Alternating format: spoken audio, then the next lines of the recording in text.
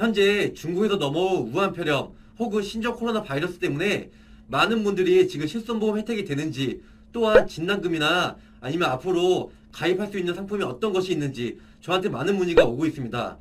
그럼 가입한 상품에 어떤 보장과 혜택이 되는지 저와 함께 알아보도록 하겠습니다. 끝까지 함께 하시죠.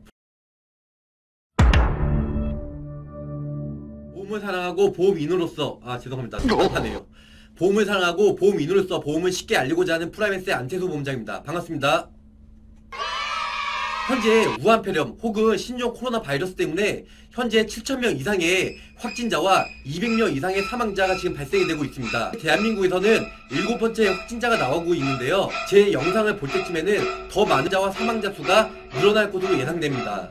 우한폐렴 및 신종 코로나 바이러스로 인한 질병 코드는 상세 불명의 부위의 코로나 바이러스는 B33.2입니다. 그런데 현재 코로나 바이러스는 앞에 신종, 신종 코로나 바이러스가 붙어 있잖아요. 그래서 B코드 중에 상세 불명의 부위에 기타 바이러스의 감염인 B33.8이 나올 수 있는 경우가 많은데요. 아무튼 B코드나 U코드나 기관지 쪽에 J코드가 나온다 할지라도 건강보험 심사평가원에서 속한 질병 코드 안에 속해질 것으로 생각이 됩니다. 또한 의료보험 적용이 되시기에 현재 가입하신 의료실손보험에서 병원비 보장이 한도만큼 가능합니다. 만약 심평원에서 등재가 안 되어 있으면 의료보험 미적용 시에는 병원비의 40%가 지급받을 수 있고요.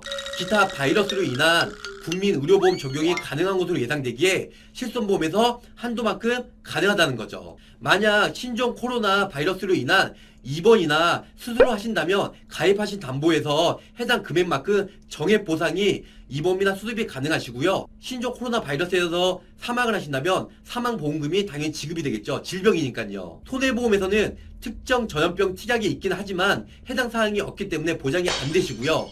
그 외 진단금이나 다른 특약에서는 보장이 안 됩니다. 신종 코로나 바이러스로 인한 새로 출시된 보험이 있다면 그 보험이 혜택이 가능하겠지만 현재 국내 보험에서는 실손보험 외에는 보장이 안 됩니다. 신종 바이러스라 보험회사에서도 진단금이 따로 없으며 결론적으로는 실손보험에서 병원비 보장만 되시고요. 자 여기까지 우한 폐렴 혹은 신종 코로나 바이러스로 인해 내 보험이 어떤 혜택이 되는지 알아봤고요. 내용이 좋으셨으면 구독, 좋아요, 알림 설정 꼭꼭 부탁드릴게요. 감사합니다.